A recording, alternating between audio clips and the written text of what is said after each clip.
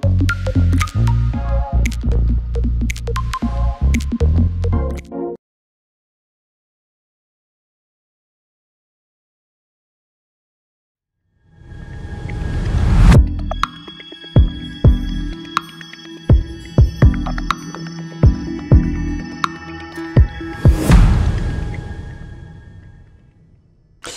Bonjour à tous et bienvenue sur boursicoté.com pour cette nouvelle analyse technique du CAC 40 en clôture avec une séance eh bien, qui est venue euh, tester hein, les euh, niveaux de résistance que je vous indiquais ce matin. On avait ici une zone entre 7380 et 7400 points on va dire même jusqu'au plus haut ici qui avait été marqué lors de cette séance du 6 mars. Et on n'est pas venu hein, euh, donc rafraîchir ce euh, point haut historique du CAC 40, puisqu'après un point haut à 7399.59 hein, au lieu des 7401.15, donc pour le plus haut euh, de début mars, eh bien on est redescendu. Donc suite à l'ouverture d'un gap haussier, on est venu combler ce gap et ensuite, on est venu ici clôturer à un niveau bien inférieur, puisqu'à 7344.96, eh le CAC 40 termine même en baisse. Alors, de choses près, hein, mais moins 0,01% par rapport à la clôture de la séance précédente. Après un gap haussier, le fait d'avoir ici une telle redescente est plutôt un mauvais signal pour la suite.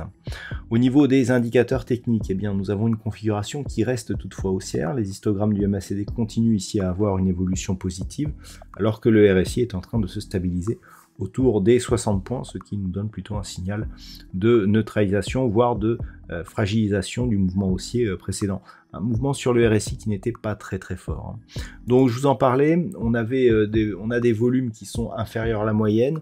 je vous le disais ici sur toute cette phase, le fait ici que l'on ait très peu de volume alors que l'on était ici sur un niveau qui du point de vue des, des, bougies ici aurait pu ressembler à une accélération, le fait que l'on que l'on échoue ici tout de suite au franchissement de ce précédent point haut et que donc les, zones de résistance si eh bien euh, est un effet aussi aussi fort montre que on manque de conviction hein. on est vraiment ici sur une phase où on est monté un petit peu sur du vent et ensuite on se stabilise aux approches des, résistances majeures. Donc c'est un mauvais signal pour la suite. Euh, on a des cours eh bien, qui sont revenus ici sur le niveau de clôture de la veille. Donc comme je vous l'indiquais ce matin, eh bien, au niveau des zones horizontales, 7320 et 7250 seront des éléments importants avant un éventuel retour ici sur la zone 7200 points. Au niveau du, palmarès des valeurs, alors nous avons euh, des quelques hausses tout de même. Hein. Hermès plus 1,77%, Danone plus 1,67%, Téléperformance pardon 1,58%. Euh, derrière Michelin, L'Oréal, alors BNP arrive encore à se, maintenir, mais on a vu les bancaires aussi euh, pas mal faiblir. Au niveau des plus fortes baisses, alors Alstom hein, prend une claque avec moins 5,53%, ArcelorMittal moins 2,46%, derrière Eurofin Scientifique, Schneider Electric, ST Micro ou Kering sont sur des pertes inférieures à 2%. Donc on le voit, hein, c'est très partagé et au niveau ici de cette tendance, eh bien on est clairement ici sur un mouvement qui ne parvient pas à casser ici cette ligne d'eau d'une configuration dont elle nous fait penser ici à, des, euh, à, une anse avec tasse. Alors elle n'est pas très très pure, hein. vous avez été quelques-uns à m'envoyer un message justement sur le côté bien dessiné de cette figure chartiste. Bon, elle n'est pas parfaite effectivement, mais dans sa forme en tout cas, elle aurait pu nous donner du potentiel en cas de rupture des 7400 points.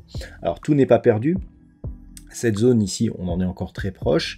Donc on a des niveaux ici d'invalidation. Et globalement, d'un point de vue moyen terme, tant que l'on reste ici au-dessus des 7200 points, rien n'est perdu. Hein. Donc on a ici une, zone de consolidation possible qui ne remettrait pas en cause justement cette impulsion. Ce qu'il faudrait voir si la consolidation se mettait en place, c'est eh les volumes qui seraient inscrits lors de ces phases de baisse et surtout ce qui se passerait sur cette zone ici des 7200 points. 7320 est un niveau qui ne remettrait pas grand-chose en cause. Le seul point ici qui pourrait commencer à donner des signaux d'affaiblissement, ça serait la zone des 7250 mais 7200 serait une zone beaucoup plus importante.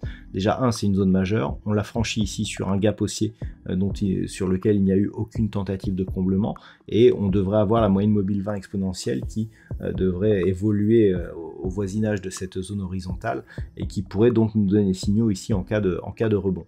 Donc la rupture de cette zone serait un très mauvais signal, mais globalement, avec des nuances un petit peu différentes, eh bien tant que l'on reste au-dessus de cette zone des 7200 points, la perspective reste donc haussière, avec donc comme comme objectif, eh bien, casser ici cette zone des 7400 points et venir inscrire de nouveaux plus hauts significatifs. Voilà donc ce que l'on peut dire sur l'analyse technique du CAC 40 pour ce soir. D'un point de vue statistique, on a une configuration qui change un petit peu. Le fait que l'on ait eu euh, ce gap euh, haussier comblé, que l'on revienne en clôture donc sur des niveaux euh, proches mais inférieurs de la clôture de la veille nous indique qu'on a un affaiblissement hein, qui est en train de, se mettre en place d'un point de vue statistique. Alors la conviction n'est pas très très forte puisqu'on a assez peu d'occurrences hein, pour nourrir cette, cette étude statistique, mais on est quand même sur une probabilité baissière qui est en train de monter à partir du milieu, voire de la fin de la semaine. Hein. On, dirait, que cette semaine, on serait assez préservé. Par contre, pour partir de la semaine prochaine, je dirais que la consolidation pourrait eh euh, s'intensifier et on a une conviction qui est assez forte notamment pour le milieu de la semaine prochaine. Voilà donc ce que l'on peut dire pour ce soir. Je vous souhaite donc de passer une très bonne soirée. On se retrouve dès demain pour d'autres analyses techniques, toujours sur le site boursicoté.com.